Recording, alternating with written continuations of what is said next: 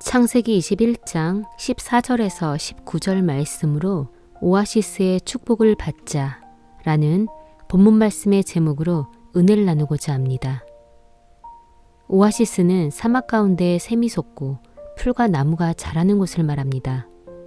물은 영적인 의미로 성령 충만함, 말씀, 믿음, 기도라고 할 수 있습니다.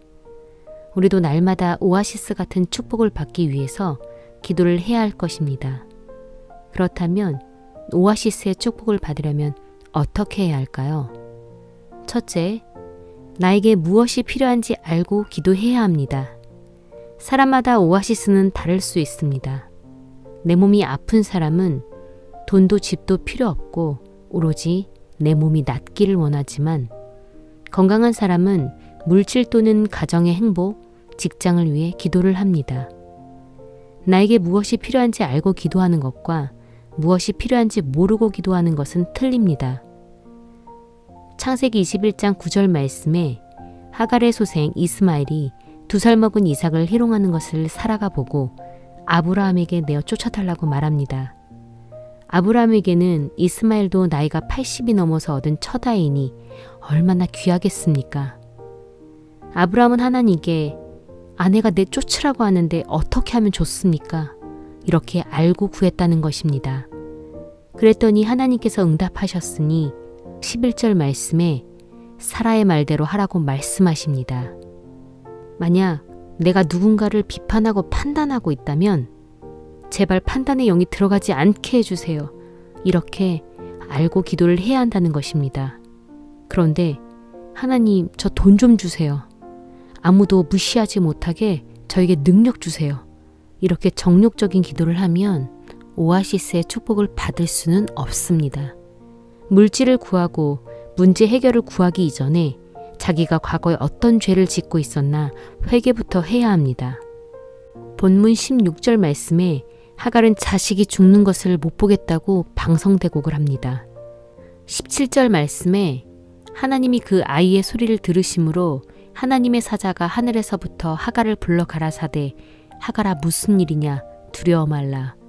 하나님이 아이의 소리를 들으셨다고 말씀하십니다. 하갈은 가죽 부대에 물이 말랐을 때 얼마나 많은 원망을 하면서 기도를 했을까요? 내 속에 원망의 화살이 들어가서 하는 기도는 응답이 없다는 것을 알아야 한다는 것입니다. 하나님은 하갈의 기도를 듣지 않으시고 이스마엘의 기도를 들으셨습니다.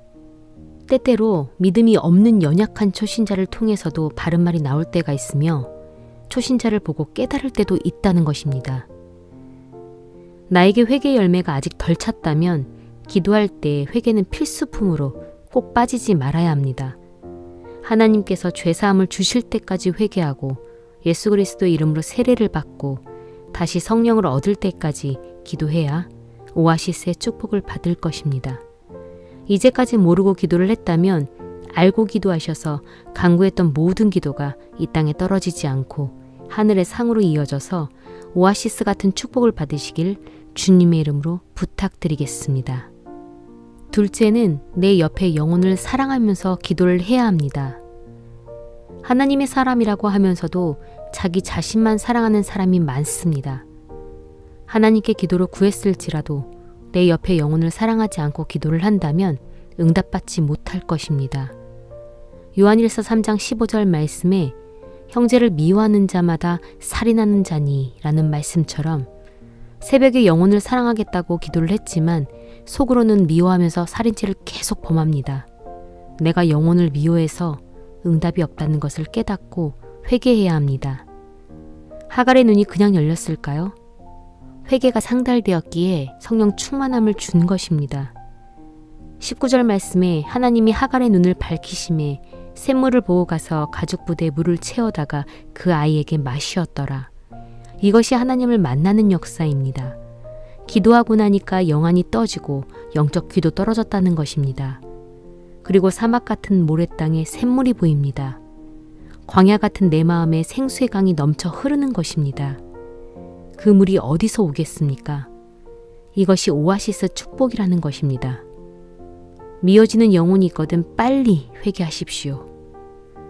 기도하고 또 미어진다는 것은 악한 영이 앞에 와서 자꾸 미워라, 미워라 속삭이는 것입니다. 마태복음 7장 2절 말씀에 비판하는 눈이 너도 비판을 받으리라 말씀하십니다. 요한일서 3장 18절 말씀에 말과 혀로만 사랑하지 말고 행함과 진실함으로 하자라고 말씀합니다. 오아시스의 축복을 받으려면 내 옆에 영혼을 사랑하면서 기도하십시오. 오아시스의 축복을 받자 첫째로 나에게 무엇이 필요한지 알고 기도한다. 둘째로 내 옆에 영혼을 사랑하면서 기도한다. 광야에서 오아시스가 나온 것은 엄청난 축복입니다. 지금까지 기도 응답받지 못했더라면 나에게 무엇이 필요한지 알고 기도를 하시고 옆에 있는 영혼을 사랑하면서 기도하셔서 영권, 인권, 신권, 물권을 다 받으셔서 하나님은 살아계신다는 것을 증거하시기를 주님의 이름으로 부탁드리겠습니다.